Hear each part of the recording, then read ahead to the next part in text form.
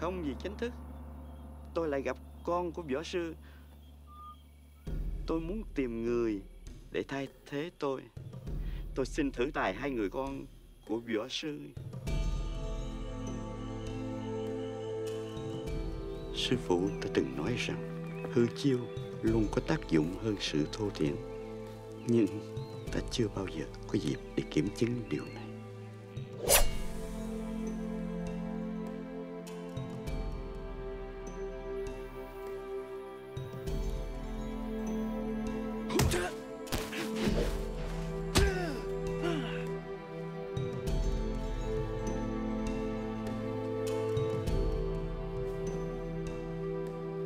Khi đến hồ Ba Bê, ta nhớ lại truyền thuyết mà ta đã được nghe và kể về tông tích của cái hồ này.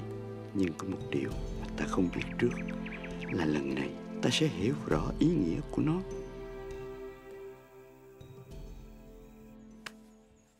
Cơm con nấu tỏa ra mùi hương tinh khiết tựa như hương của hoa mộc lan vậy.